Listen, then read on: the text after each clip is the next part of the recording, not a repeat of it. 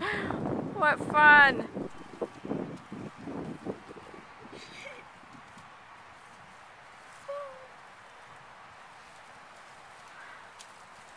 Was it your dad or you that came up with this idea? Both of us. Together? We went to like this park one time and then there was like this branch that was hanging down so we he put it he put me on it and then let go and then I just flew.